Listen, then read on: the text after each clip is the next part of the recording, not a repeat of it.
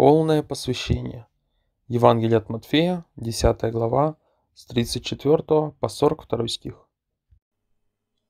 Не думайте, что я пришел принести мир на землю. Не мир пришел я принести, но меч.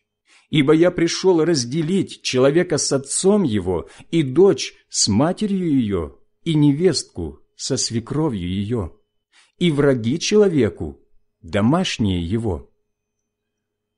Кто любит отца или мать более, нежели меня, недостоин меня. И кто любит сына или дочь более, нежели меня, недостоин меня. И кто не берет креста своего и следует за мною, тот недостоин меня. Сберегший душу свою потеряет ее, а потерявший душу свою ради меня сбережет ее. Кто принимает вас, принимает меня.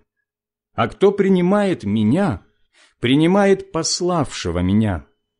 Кто принимает пророка во имя пророка, получит награду пророка.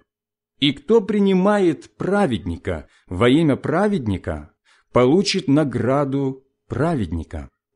И кто напоит одного из малых сих только чашею холодной воды, во имя ученика, истинно говорю вам, не потеряет награды своей.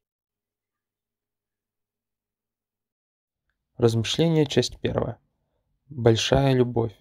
Евангелие от Матфея, 10 глава, с 34 по 37 стих.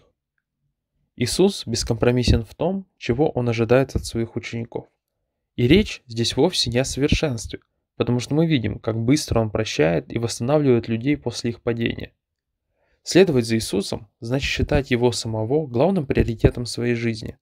Иисус понимает, что решение признать Его суверенным Господом неизбежно приведет к разделению в семьях и разногласиям между близкими людьми. Хотя мы не призваны намеренно отдаляться от членов наших семей, призыв стать учеником значит, что мы должны возлюбить нашего Спасителя больше, чем кого-либо еще. Даже если это и кажется нам какой-то крайностью, все это обретает глубокий смысл, когда мы вспоминаем о том, что его любовь к нам намного больше того, что может предложить этот мир.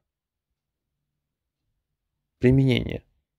Каким образом вы можете продемонстрировать свою любовь к Христу?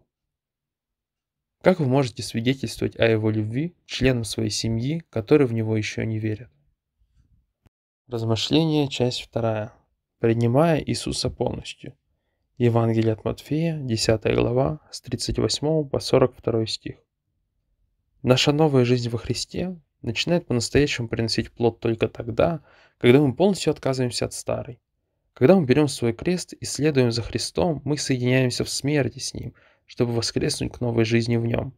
Через это действие мы преображаемся в такого человека, какого хочет видеть в нас Бог. Иисус пришел не исправить или улучшить нашу старую жизнь, а поменять ее на новую, свою. Как последователи Христа, мы имеем привилегию делиться этой радостной вестью с окружающими и быть уверены в том, что те, кто примет это послание, приобретут в нем вечную жизнь. Давайте же примем Иисуса во всей его полноте и поделимся им с этим миром. Применение. Как ваша вера помогла вам осознать, что вы новое творение? Попросите Бога дать вам мудрость и смелость делиться радостной вестью о Христе – со своими знакомыми. Молитва. Отец Небесный, благодарю Тебя за то, что я могу называться Твоим ребенком. Я могу смело входить в Твое присутствие благодаря Твоему Сыну Иисусу. Пусть моя любовь к Тебе сияет ярче, чем все мои отношения с близкими. Мне же помоги любить их больше. Во имя Иисуса Христа я молюсь. Аминь.